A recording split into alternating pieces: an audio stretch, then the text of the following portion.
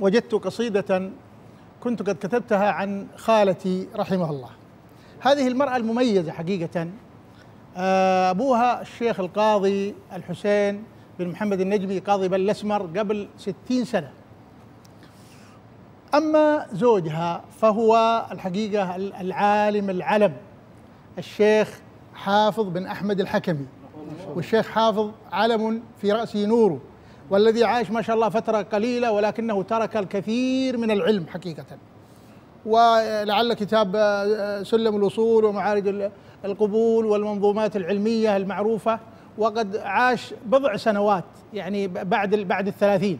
يعني بعد الثلاثين ببضع سنوات يعني أربع ثلاثين تقريبا وترك هذا الكم من من من العلم الكبير.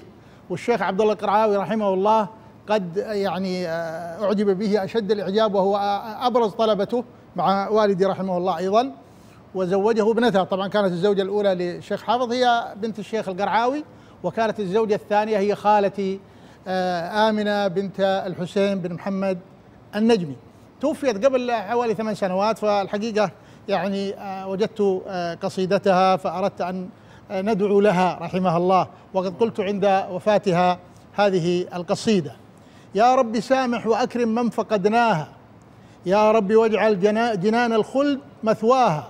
فخالتي هي أمي بعد والدتي فالطيب والبشر يبدو في محياها. فالدين والعطف والإحسان ديدنها وذا لقلب حنون في حناياها.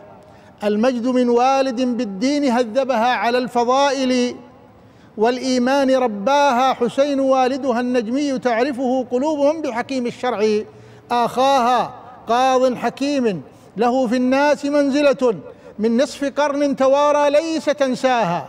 الناس تشكره بالخير تذكره بالعدل والطيب والإحسان. وافاها من والد ورث ورثت تلك الخلال وقد أضحت بنعمة ربي من سجاياها. وزوجها حافظ العلم الذي عرفت وزوجها حافظ العلم الذي عرفت كل الدنا فضله بالعلم اسقاها وشيخه الشيخ عبد الله علمه علمه وكان بين غنيمات ومرعاها. طبعا الشيخ معروف إن الشيخ القرعاوي أخذ الشيخ حافظ من كان راعي غنم سبحان الله. فاختاره ورأى فيه الذكاء به مواهبا ومزايا قد تبناها بالعلم والأدب السامي يضيء سنا فحاز من قمة الإبداع أعلاها. تعلم العلم اخلاصا لخالقه. ما حاز من علمه مالا ولا جاها. بعلمه يستضيء الحائرون شذا. كم من نفوس بنور العلم داواها. قد عاش عمرا قصيرا ثم غادرنا. لكنه كم من الأسفار أزجاها. يعني الكتب التعليمية. تبقى تدر عليه الأجر. ينهل من معينها كل من قد ذاق مجناها. من عاش للعلم والتوحيد ينشره فتلك أعظم أهداف وأسماها. مشاعل النور أهل العلم قدوتنا بمثلهم وطن الإيمان قد باها فهم رجال الهدى والنور في زمن عاشوا حياة عاشوا حياة معاناة وأقساها. فالصبر والعزم والتصميم ديدنهم ولم نرى لهم في الناس أشباها. وخالتي آزرت شيخ العلوم بما نبينا في حديث الحق أوصاها وبعد أن غادر الدنيا وقد حفظت أولادها وإله الكون يرعاها. أواه يا خالتي كم بات يقتلني حزن وقد بات ناعي الموت ينعاها. وخالتي إن أت, إن أت عن أهلها بدنا وما كان أقربها منا وأدناها. طبعا عاشت في الرياض وكانت تتابعنا في في الديرة. ففي النجامية الغراء منشأها. ونصف قرن رياض المجد سكناها في كل خطب على بعد تشاركنا مع الجميع بكل الحب تلقاها. فاليوم قد رحلت لله خالقها وسوف ندعو لها وسوف ندعو لمن في القلب ذكراها. يا رب فاغفر لها وارأف بشيبتها.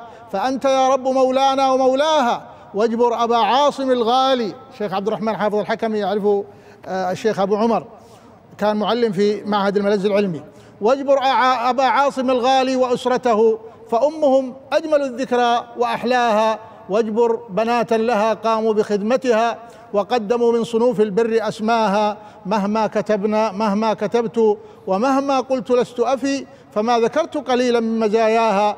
يا رب فاكتب لنا الفردوس تجمعنا فيها وتلك من الآمال أغلاها. هذه المرأة بينها وبين زوجها في الوفاة 61 سنة. ما شاء الله ما شاء زوجها توفي قبلها ب 61 سنة. نسال الله أن- رحمه الله أن- أموات المسلمين. آمين الله يغفر لهم ويرحمهم. ويجمعنا بهم في الفردوس الاعلى يا ربي يا الله. اللهم